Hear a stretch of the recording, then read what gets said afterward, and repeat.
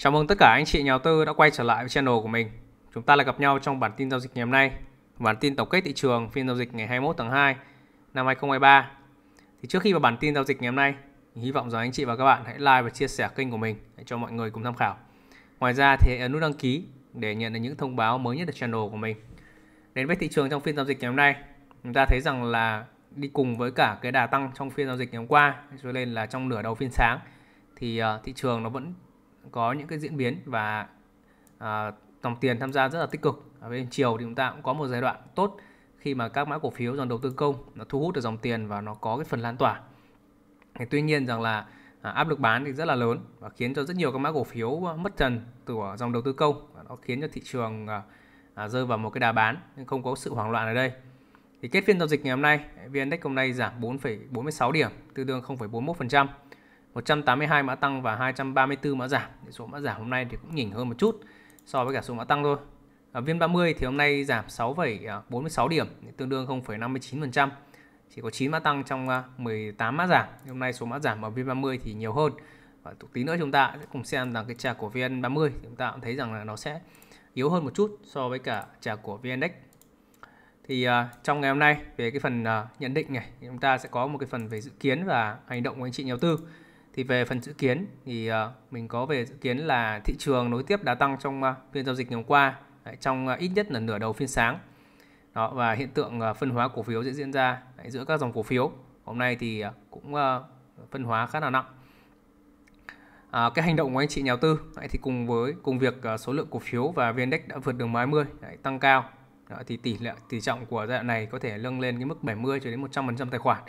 Tận dụng các cái nhịp uh, phân hóa và điều chỉnh nhỏ giữa các dòng cổ phiếu để tham gia nâng tỷ trọng.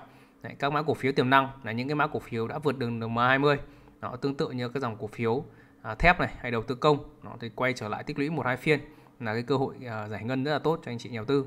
Đấy, có thể một số các ví dụ điển hình như là dòng chứng khoán ngân hàng rồi là bất động sản một số các mã cổ phiếu thì chúng ta có thể là chủ động xem được. Còn ở đây thì hôm nay mình có một số các mã cổ phiếu à, khuyến nghị thôi.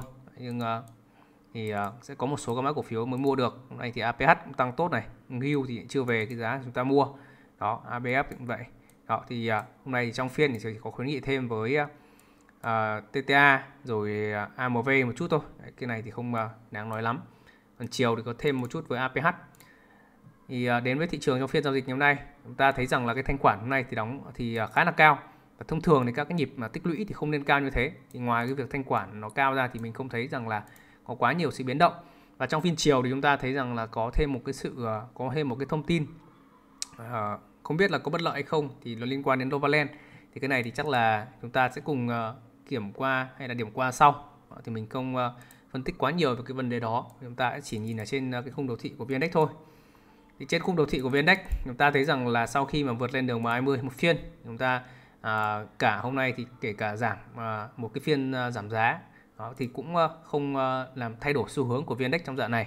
Đó một cái kênh xu hướng này vẫn đang ờ, là một xu hướng tăng và uh, khi mà đóng cửa thì giá vẫn đang nằm trên đường MA20 và nằm trên cả đường Kijun nữa ở trên cái hệ thống mây Ichimoku đó, thì giá đang nằm ở trên mây cho nên là nếu như có một cái yếu tố về đá tăng thì nó sẽ là nó sẽ thúc đẩy cho cái đá tăng nó tốt hơn.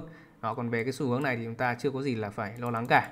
Đó và cái việc mà tái tích lũy ở đây tích lũy ở khoảng một hai phiên ở đây thì cũng đều rất bình thường thôi chúng ta cũng ờ, có thể là nhớ các cái giai đoạn trước. Đấy, khi mà vượt đường MA20 một phiên đấy, sau đó thì có tích lũy là cái điều rất là bình thường. Để các cái đường MA ngắn nó sẽ cắt lên các đường MA dài hay là để chờ một chút cho cái đường Kijun nó vượt lên đường à, Tenkan. À, ở đâu cũng thế thôi. Đấy, trong dạng này thì cũng vậy. Đấy, những cái mà trong ờ, các cái phiên uh, giao dịch ngày 20 tháng 7 này thì không có một cái phiên giao dịch nào mà nó có cái phiên uh, break hẳn từ MA20 như vậy. Nên chúng ta sẽ xem uh, trong các giai đoạn khác.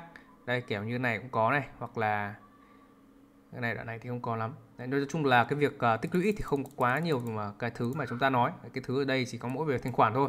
Thanh khoản hơi lớn một chút và thông thường thì so với cả thanh khoản và giá thì tôi đang không phù hợp cho lắm. Thường là những cái phiên tích lũy thì sẽ là những cái phiên thanh khoản cực kỳ thấp luôn. Đó chúng ta nhìn thấy hồi tháng 1 đây. Trước Tết thì thanh khoản nó rất là thấp thì không nói làm gì rồi. Đó và cứ như cái kịch bản như này tích lũy tốt ở trên cái vùng này chúng ta sẽ kỳ vọng một cái nhịp lên ít nhất là vùng 1120 chính là cái cái vùng đỉnh cũ ở trong dạng này thì chúng ta thấy rất, rất nhiều các mã cổ phiếu đã về cái vùng đỉnh cũ rồi. Cho nên là chúng ta sẽ có một cái niềm tin nhiều hơn.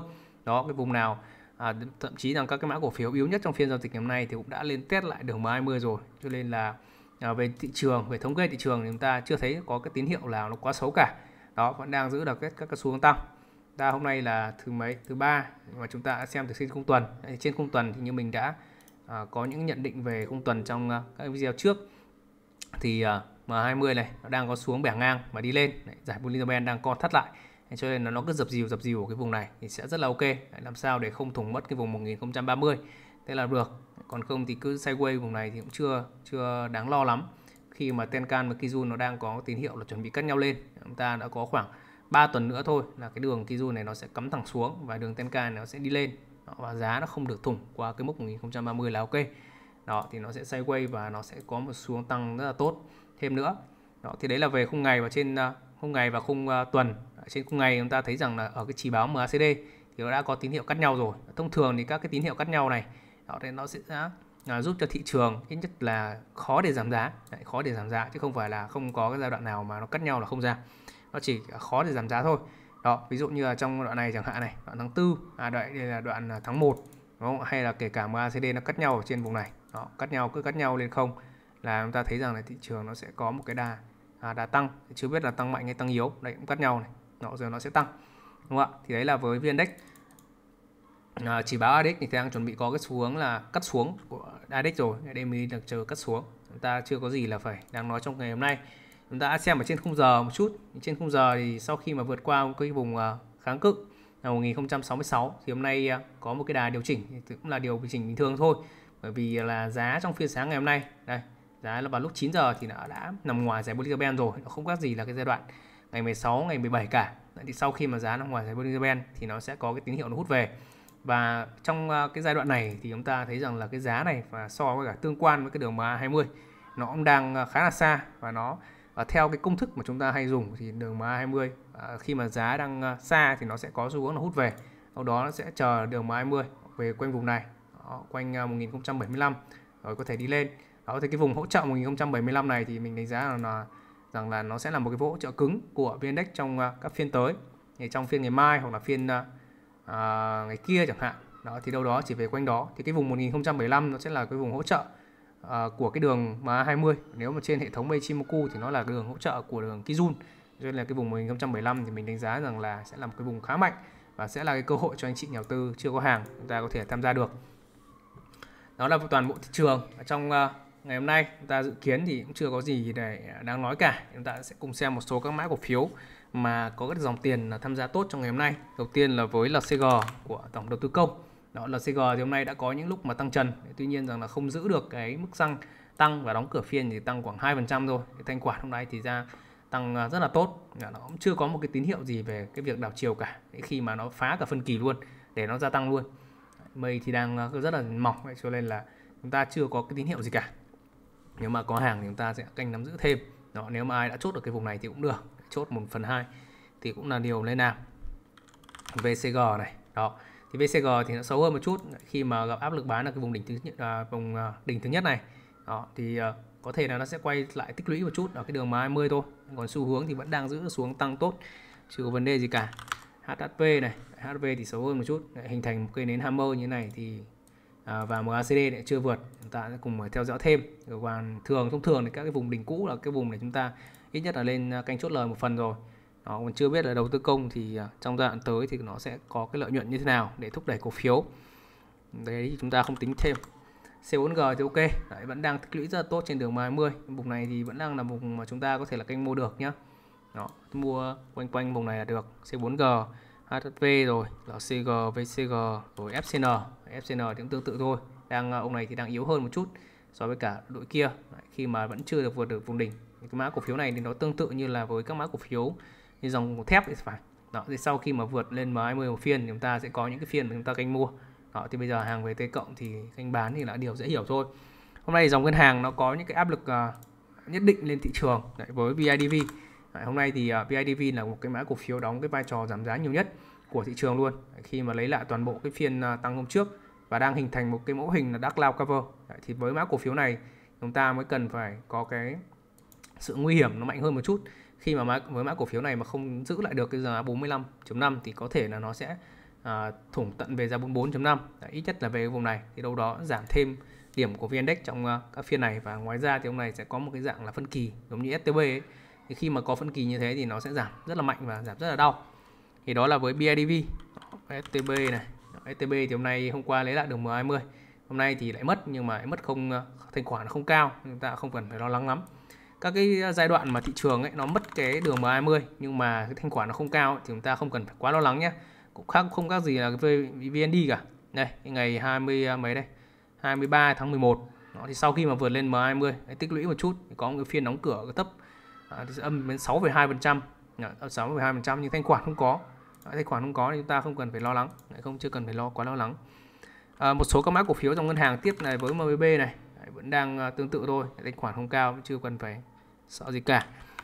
À, STB này LV Bank này ok LV Bank còn khỏe hơn. Ông này thì đang tiếp cận đỉnh cũ nên là gặp cái áp lực bán là cái chuyện quá bình thường rồi. Các đường MA ngắn đang cắt đường MA dài và cái hệ thống Ichimoku thì nó đang à, nối tiếp cho một cái đà tăng thì có một xấu một cái là cái việc là MACD đang có phân kỳ hai đoạn.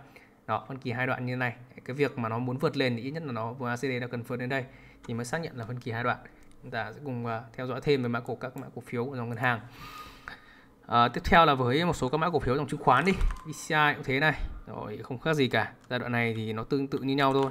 VNSSA cũng thế này. VND này. Thì đây đều là những cái cơ hội cho anh chị đầu tư có thể là à, kênh à, mua được. Đấy, khi mà các thị trường nó điều chỉnh về 1080 hay 1075 chúng ta cứ mua chưa có gì phải lo lắng quá cả. Đấy, khi mà cái tỷ trọng chúng ta không à, đánh margin trong dạng này thì sẽ ok rồi. Đấy, sẽ muốn mà thị, thị trường mà muốn đảo chiều thì cũng sẽ cần rất nhiều phiên để phân phối hết cái đóng à, kia cơ. Cho nên chúng ta cứ yên tâm chưa có vấn đề gì cả. Dòng chứng khoán thì chúng ta sẽ có thêm APS này. Hôm nay thì mình cũng khuyến nghị APS không biết nó về cái giá mình mua chưa đó, cái vùng này là vùng mua của APS rồi. Đấy, chúng ta cứ mua quanh vùng 9.8 vùng 10 là ok.